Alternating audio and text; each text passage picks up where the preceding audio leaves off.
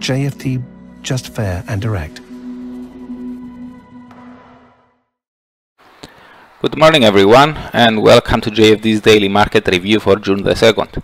I am Charalambos Pissouros, senior market analyst here at JFD and I will talk about yesterday's main market movers, what's my opinion moving ahead, what are today's important events and how they could affect the markets.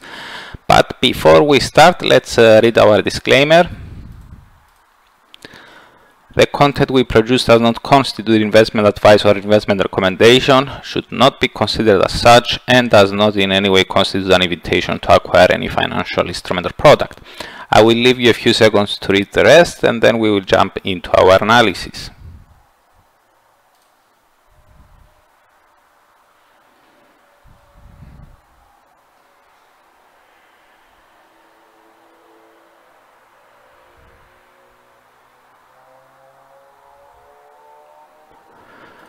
Okay, the US dollar continued trading south against most of the other G10 currencies on Monday and during the Asian morning Tuesday.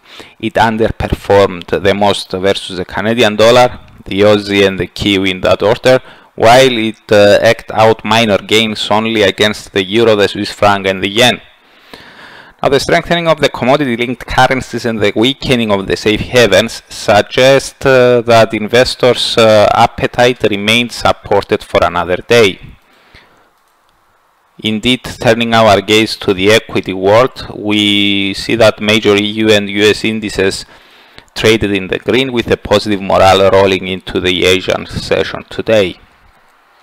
It seems that investors continued placing bets on the prospect of uh, global economic recovery as uh, governments around the globe continue to ease uh, their lockdown measures adopted due to the fast-spreading coronavirus.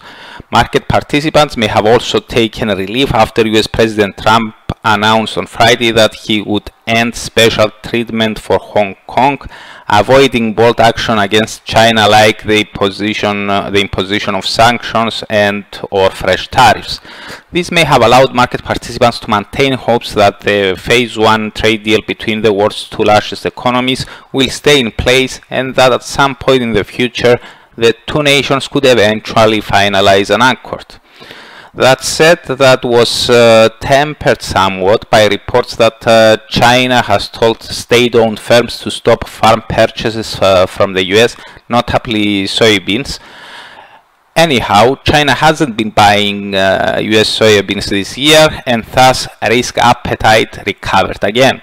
Another negative was that US President Trump will send US troops into the streets to control violence uh, triggered by the death of uh, George Floyd in police, in, in police uh, custody.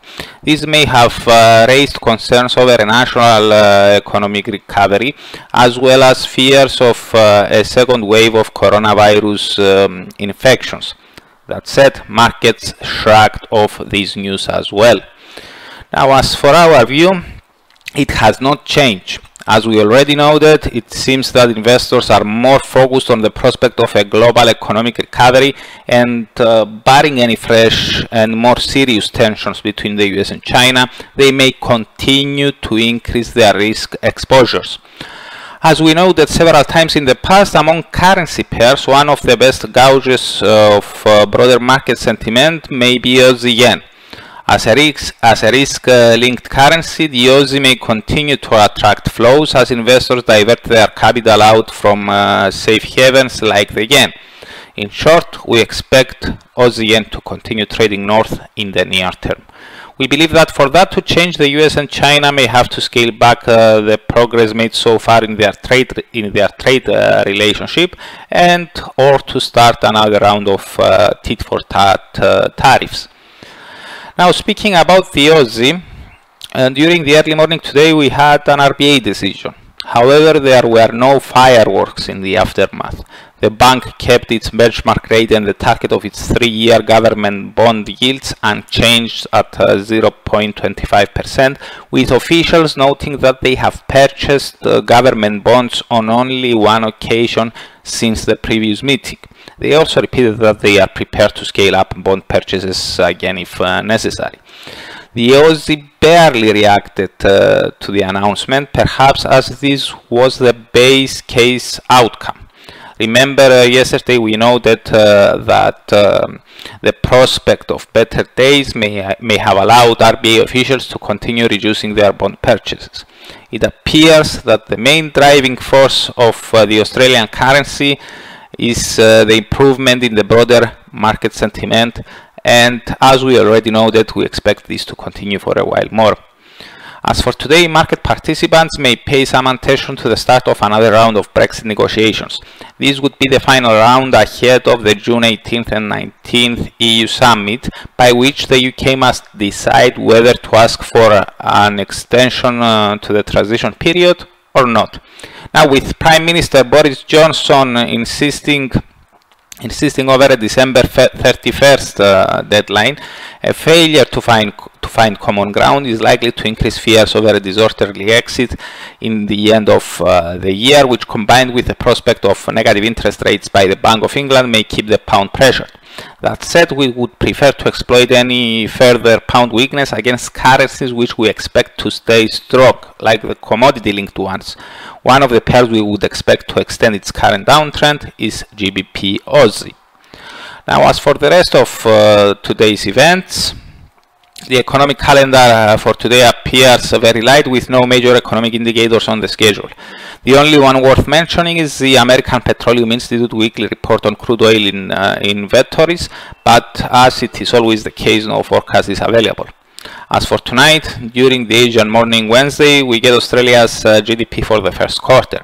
Expectations are for the economy to have contracted 0.3% quarter over quarter after expanding 0.5% in the fourth quarter of 2019, which will drive the year-over-year rate down to 1.4 from 2.2%.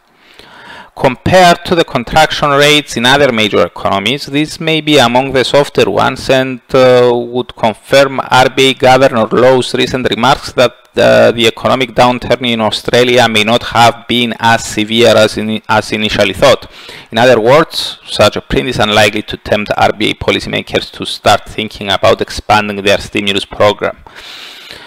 China's Caixin Services PMI for May is also, is also coming out tonight, but uh, no forecast is currently available.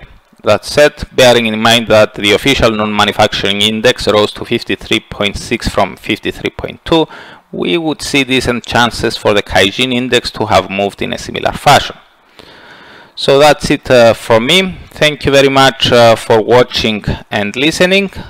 For those who are interested in learning about the main events of the week much earlier, you can subscribe to the weekly Market Outlook webinar which I'm holding every Monday at 7 o'clock AM GMT time. You can find the link in the description below. So goodbye, have a great day, and I'm looking forward to seeing you here again tomorrow.